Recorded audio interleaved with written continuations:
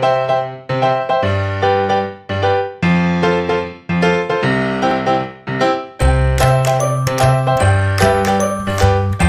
అండి welcome back to my channel. ఈరోజు మన ఛానల్లో సజ్జల లడ్డు చేద్దామండి.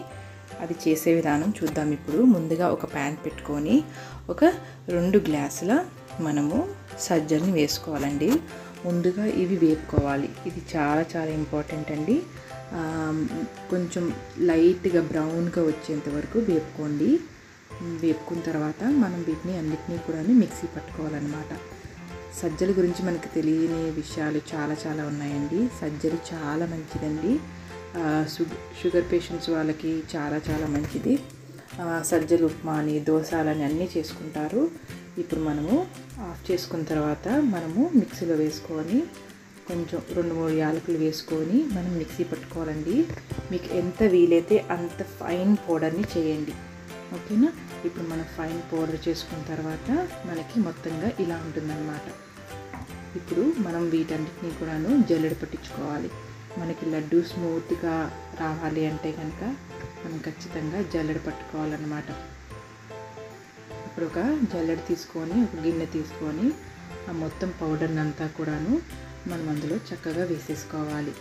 వేసుకున్న తర్వాత మనము దాన్ని బాగా జల్లెడ పట్టుకోవాలి. సన్నగా పౌడర్ లాగా వచ్చేంత వరకు చూడండి ఫ్రెండ్స్ మనకి తినేటప్పుడు చాలా మెత్తగా ఉంటే చాలా చాలా బాగుంటుంది. పిల్లలకైతే చాలా మంచిదండి. బోన్స్కి కానీ ఐరన్కి చాలా చాలా మంచిది.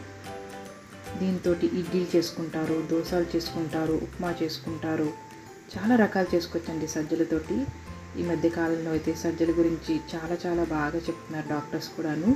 వీలుంటే కనుక వారానికి ఒకసారి ఇలా లడ్డు చేసుకొని పెట్టుకోండి పిల్లలకి ఇవ్వండి. పిల్లలు చాలా ఇష్టపడతారు. దీంట్లో మనం ఏ నట్స్ కూడా యాడ్ చేసుకోవచ్చు ఇంకా బాగుంటుంది. ఇప్పుడు పొడి పొడి చేసుకున్న తర్వాత పక్కన పెట్టుకోవాలండి. ప్యాన్ తీసుకొని మనం ఏ గ్లాస్తో అయితే మనం రెండు మన సజ్జలు తీసుకున్నామో రెండు గ్లాసుల మనం బెల్లాన్ని కూడా తీసుకోవాలి. ఇప్పుడు కొంచెం వాటర్ని పోసుకొని మనము తీగ పాకం వచ్చేంత వరకు చూడాలి ఫ్రెండ్స్ అది చాలా చాలా ఇంపార్టెంట్ తీగ పాకం వచ్చిన తర్వాత మనం సజ్జల్లో వేసేసుకుంటే మనం లడ్డూలు చేసేసుకోవచ్చు ఇంకా. సంక్రాంతి వస్తుంది కదండి. పిండి వంటలు స్వీట్స్ భలేగా ఉంటుంది ఇల్లంతా సందడి సందడిగా. మన ఛానల్లో కొన్ని సంక్రాంతి స్పెషల్స్ ఇప్పుడు వస్తూ ఉంటాయి. జాగ్రత్తగా చూడండి ఫ్రెండ్స్ తీగపాకం వచ్చిందండి. ఇప్పుడు మనము స్టవ్ ఆఫ్ చేసేసుకొని మనం ఇవి- ఇదన్నిటిని కూడాను పౌడర్ని మనం పౌడర్లో కలిపేసుకోవాలి. చాలా వేడిగా ఉందండి. స్పూన్తో బాగా కలిపేసుకోండి. సాధ్యమైనంత వరకు బాగా కలుపుకోండి.